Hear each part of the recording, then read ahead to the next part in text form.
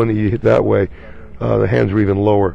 Setup in general is pretty good. Club face is square to the target, ball centered, feet are about shoulder wide. Body alignment as far as feet, hips, and shoulders is complementary.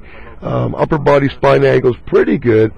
I know you have your collar jacket on, but I would like to have your head more perched, your chin out, so you got more room to make a turn, right? That'll help get rid of all that wristy tendency or angle. I am too wrist. hmm And the club, where it is now, I'd like to have your arms just, just hang down pretty naturally so that the butt end of the club's opposite your waist.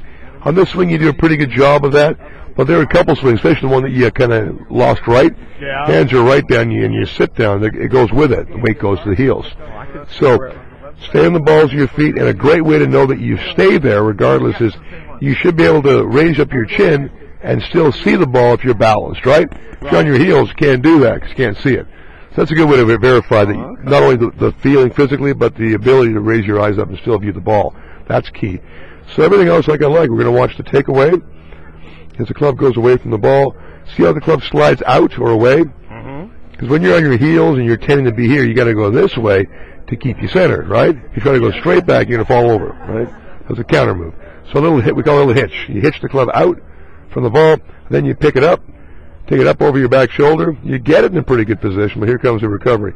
Reflex the right knee, clear the left hip, drop the club down with the arms, turn the hands over, and away you go. So, like I said, if you're not hitting a thousand balls like you did in high school, tough to repeat that. You know, if I want you with a partner, I want you with less moving parts, so I know you're going to maintain solid positions. So that's it. All right. All right.